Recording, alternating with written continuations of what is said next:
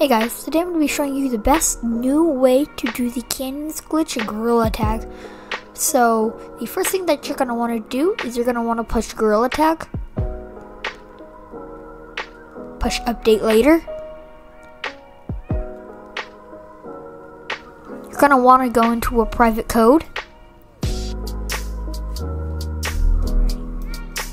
Alright, now once you're in your private code, you're going to want to have a uh, cosmetic on like this.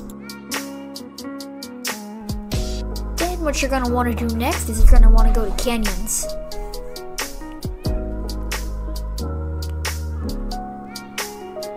Now, once you're in canyons, you're going to want to grab on one of these ropes. I like this first one. Once you grab on it, while holding your grip, you're going to push the Oculus button. Still hold your grip when you're on the Oculus menu.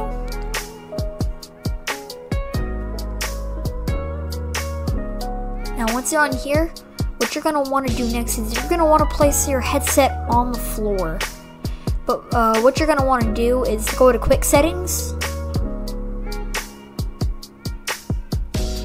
Sorry, it's a little glitchy. You're gonna wanna go to settings, system,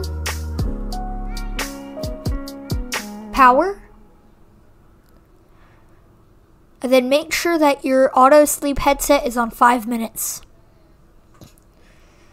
Now, you're going to want to place your headset on the floor.